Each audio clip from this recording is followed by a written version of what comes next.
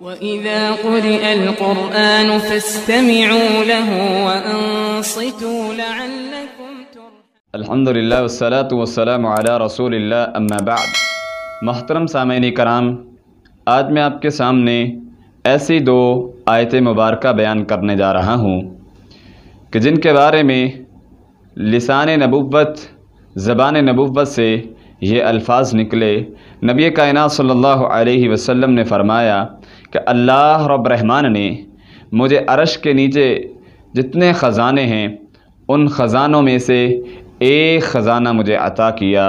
वो दो आयात की सूरत में, वो दो आयात मुबारक की अल्लाह रब्बुल इज़्ज़त ने मुझे ख़जाना अता किया। वो कौन सी दो आयात हैं कि जिनके बारे में नबी कायनात सल्लल्लाहु अलैहि वसल्लम ने फरमाया, जो शख्स इन दो आयात मुबारक को पढ़ता है वो शैतान के शर से महफूज कर दिया जाता है। शैतान के शर से महफूज हो जाता है। शैतान की चलाकियों और उसकी साजिशों से महफूज हो जाता है। नबी कायन सल्लल्लाहु अलैहि वसल्लम ने फरमाया, जो इन दो आयात की तलावत करता है, वो अल्लाह की निगरानी में आ जाता है। कहने वाले कौन हैं? नबी कायनात सल्लल्लाहु अलैहि वसल्लम। गारंटी देने वाले कौन हैं? नबी करीम सल्लल्लाहु अलैहि वसल्लम। जिसकी ज़ुबान, जिनकी ज़ुबान मुबारक कभी झूठ बोल ही नहीं सकती। आका अलैहि सलातु वसलाम ने फरमाया, जो रात को पढ़ते, सोते हुए इन दो आयत मुबारक की तलावत करता है, वो अल्लाह की कफ़ालत में आ जाता है, अल्लाह की निगरानी में आ जाता है। मोहतरम सामीन इकराम, वो दो आयत मुबारक कौन सी हैं? वो आयत मुबारक सूरतुल्बक़रा की आखिरी दो आयात हैं। जिनके बारे में आका सलात सलाम ने इनकी मज़ीद फ़जीलत बयान करते हुए फ़रमाया, जो इंसान, जो भी इंसान, ये दो आयात की तलावत करके अल्लाह के सामने पेश होता है, अल्लाह के सामने दुआ करता है, अल्लाह के सामने अपनी हाजत को रखता है, अल्लाह से जो भी माँगता है, इन दो आयत मुबारक को पढ़ के अल्लाह खालिक व मालिक उसको ज़रूर ब ज़रूर नवाजते हैं। सूरतुल्बकरा की आखिरी दो आयात नौमान बिन बशीर बयान करते हैं कि नबी करीम सल्लल्लाहु अलैहि वसल्लम फरमाते हैं, आका सलाम ने फरमाया, आसमान ज़मीन से पैदा करने से पहले, दो हज़ार साल पहले, अल्लाह रब रहमान ने एक किताब लिखी। उस किताब ने दो आयात लिखी। वो दो आयतें कौन सी थी? नबी करीम सल्लल्लाहु अलैहि वसल्लम ने फरमाया, जिनके साथ अल्लाह ने सूरतुल बकरा को मुकम्मल किया, यानी सूरत बकरा की आखिरी दो आयात थी। और इसके पढ़ने वाले के लिए क्या मुकाम है? नबी कायनात सल्लल्लाहु अलैहि वसल्लम ने फरमाया, जो रात को सोते हुए, ये पढ़ के सोता है, वो अल्लाह की निगरानी में आ जाता है, कफ़ालत में आ जाता है।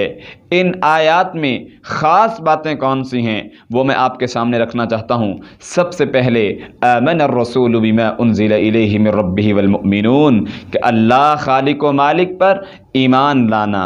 ईमान अल्लाह रब्बुल आलमीन एक है, उसकी ज़ात बरहक है, उसका पैगाम सच है, उसके रसूल सच्चे हैं, उसकी किताबें सच्ची हैं, उसके फ़रिश्ते जो आते हैं, अल्लाह के हुक्म से आते हैं, फ़रिश्ते एक उसकी मखलूक है, अल्लाह के ये फ़रिश्ते उसकी इबादत के लिए पैदा किए गए। फ़रिश्तों पर ईमान लाना, रसूलों पर ईमान लाना, किताबों पर ईमान लाना और रसूल अकरम सल्लल्लाहु अलैहि वसल्लम ख़ुद भी ईमान लाए और आपने ईमान ईमान लाने का हुक्म भी दिया। ऐसे ही आका सलाम ने इस सूरत इन दो आयत मुबारक की।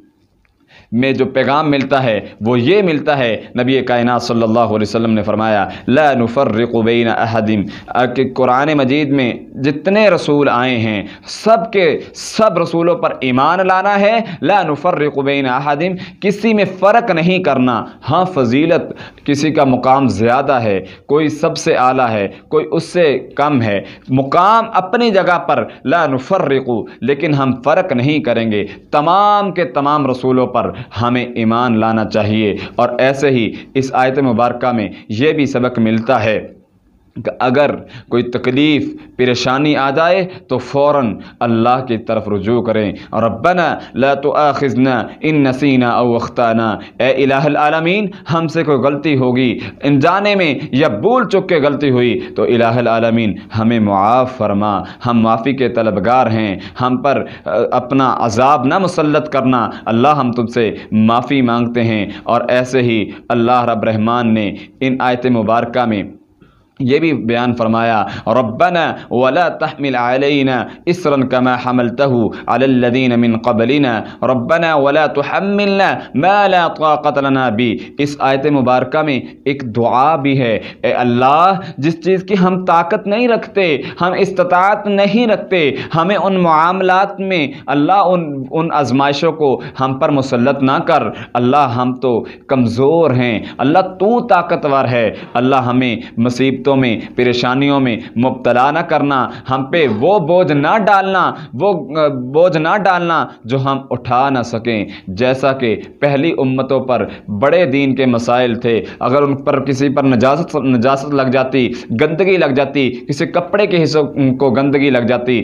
नजासत लग जाती, या जिसम के किसी हिस्से को नजासत लग जाती तो वो कैंचियों के साथ उतना हिस्सा उनको उतारते, उतारना पड़ता। ये अल्लाह की तरफ़ से हुक्म होता था।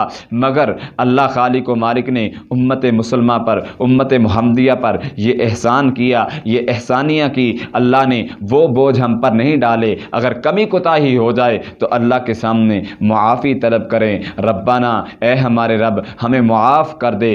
तू बेशक माफ़ करने वाला है। तू अरहम राहिमीन है। रहम करने वाला है। तू सत्तर माओ से ज़्यादा बढ़कर अपने बंदे से प्यार और और मोहब्बत करने वाला है। इन आयत मुबारक की फजीलत को समझें और लाजमी तौर पर खसूसी अपने बच्चों को, अपने अहल खाना को, अपने घर वालों को इन आयत मुबारक को याद करवाएँ। इससे आप जो है वो शैतान के शर से भी महफूज हो जाएँगे। और दूसरी बात, नबी करीम सल्लल्लाहु अलैहि वसल्लम ने फरमाया, सबसे ज़्यादा जादूगर के मुकाबले में जो आयात हैं, वो आखिरी सूरतुल बकरा की दो आयात हैं। और मैं गारंटी के साथ कह सकता हूँ। अगर आप ये दो आयात में वारका पढ़ेंगे, इससे आपके बच्चे भी महफूज हो जाएँगे, आपके घर वाले भी महफूज हो जाएँगे। और आप अगर इन आयत मुबारक को पढ़ के जादूगर जितना मर्ज़ी जादू करे, आप उसके शर से महफूज रहेंगे। इन आयत मुबारक को याद कीजिए, अपने बच्चों को याद करवाइए, अपने घर वालों को याद करवाइए और इनकी, इसकी फजीलत को समेटने की कोशिश करें। इस आयत को, इन आयत मुबारक को तर्जमे के साथ, मानी के साथ समझ कर पढ़ें और अल्लाह खालिक मालिक से दुआ करें आलमीन हमें क़ुरान मजीद के मानी को समझ कर इस पर अमल करने की तोफ़ी अता फ़रमाए अकूल को लिहाजा अस्तफ़रमिनकुल्लिज़म्बिनमातूबी